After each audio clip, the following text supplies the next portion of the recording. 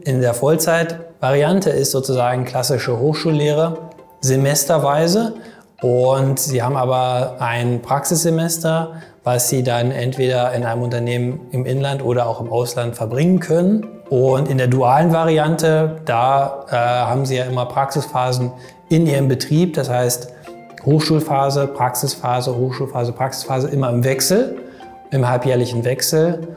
Und am Ende des Tages haben Sie in beiden Varianten sieben Semester, 210 ECTS-Punkte und kriegen in beiden Varianten ihren Abschluss Bachelor of Arts.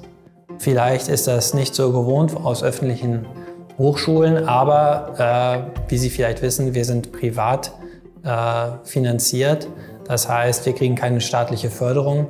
Wir haben natürlich auch Kosten, die hier entstehen. Demzufolge sind da natürlich dann Studiengebühren äh, zu entrichten. Aber ich denke mal, jeder Student, der hierher kommt, äh, sieht auch die Unterschiede zur, zur öffentlichen, zum öffentlichen Bildungssystem. Also wir haben deutlich kleinere Klassen und wir haben deutlich nahbare Professorinnen und auch Verwaltungsmitarbeiterinnen.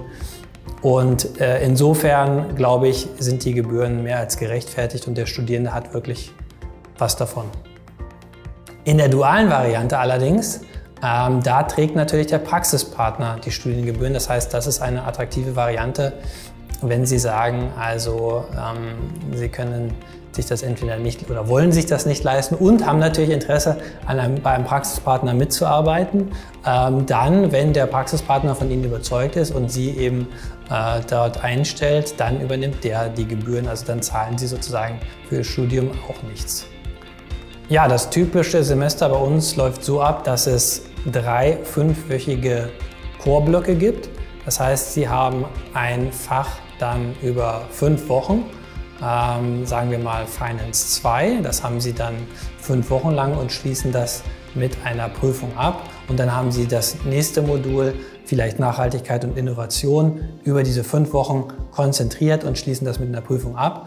Und das davon drei Wochen, äh, drei Module, Entschuldigung, und äh, ein Core Plus Modul am Ende ähm, mit weniger Kontaktstunden und darüber hinaus haben Sie dann noch zu diesen drei mal fünf Wochen und dem Core Plus Modul haben Sie dann noch zwei Module, die sozusagen durchlaufend sind, wo Sie sozusagen das gesamte Semester dort äh, die Lehrveranstaltung absolvieren. Das ist so das typische Semester, wenn man äh, an der Hochschule ist. Wenn man in der Praxisphase ist als dualer Studierender, hat man natürlich im Wesentlichen seinen Einsatz bei seinem Praxisunternehmen, hat dazu zusätzlich aber noch zwei äh, Online-Module, die dann entsprechend durchlaufen und äh, problemlos nach der Arbeitszeit absolviert werden können.